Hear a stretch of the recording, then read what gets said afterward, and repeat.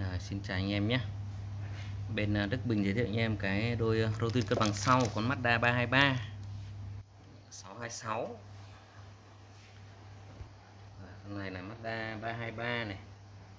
Là Mazda Premacy này từ 202 đến 206 này. Con à, Flazer từ à, 99 đến 205 Đấy. Mã của nó đây.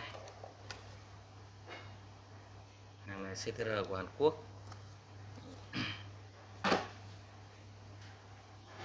Anh em mà có cần phụ tùng gì thì à, cứ zalo giúp mình nhé. Nên mình thử mình đo thử cái này. Áng chừng xem là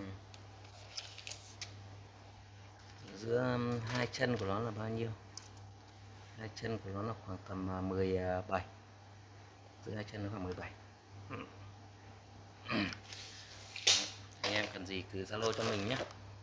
097 995 185 nhé. Xin chào anh em.